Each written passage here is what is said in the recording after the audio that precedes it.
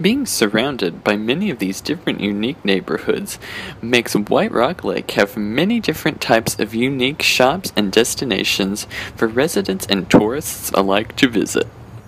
Located on the intersection of Mockingbird Lane and Abrams Road is a unique store that sells specialty products and feed for birds called Wild Birds Unlimited. Ron Mills is the owner of this store, which is located in Dallas's prestigious Lakewood neighborhood. The store's been open 13 years. It was opened in October of 2001. I purchased it in in November of 2003. So I've been here almost 11 years. Whether you're looking to attract cardinals, sparrows, doves, or blue jays, you will find something for every species you can think of. Obviously, seed is emphasized more than anything else. It is the consumable, it's what brings people back time and time again. Organized in each special category by species, the Wild Birds Unlimited store features neatly organized varieties of different seeds for each and every species for your backyard. Ron is always focused on keeping his store as local and community orientated as possible.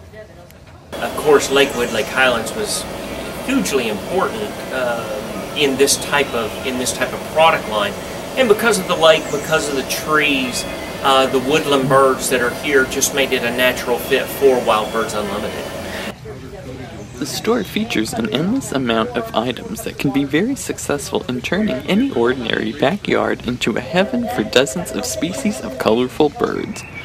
Not only does Wild Birds Unlimited sell bird feed and feeders, but it is a store that emphasizes on all aspects of local outdoor recreation and activities.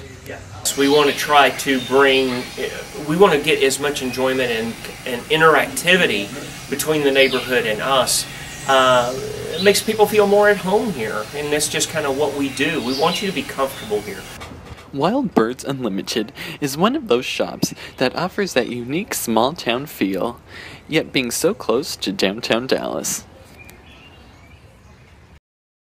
Many people from all over North Texas commute down to White Rock Lake to take in the lake's natural beauty. Kelly Kennedy definitely feels that it's worth the drive to be at the lake. I live in Oak Cliff, so I drive about 20 minutes to come over here, so it's worth it to me. It's nice to have a nice body of water here. Um, even if there's a lot of people, it doesn't get real crowded. Um, there's still a lot of space and you know, it's just nice to, we don't have the ocean near us, so I think this is the next best thing. After being introduced to the lake for the first time, Kennedy, like many other visitors to the lake, decide that they definitely have to come back time after time again. I think I knew someone that lived near here, and we drove by, and I thought it was pretty spectacular, so I started coming by myself. Just like the other pooches visiting White Rock Lake, Kelly's dog Flyer knows exactly when he's arrived at his favorite destination. Oh, he loves it. He starts to whine as we're driving up. He knows exactly where we're coming, and he is very happy to be here. If you are looking for a different variety of historic structures and buildings, White Rock Lake is the perfect place for you to come and visit.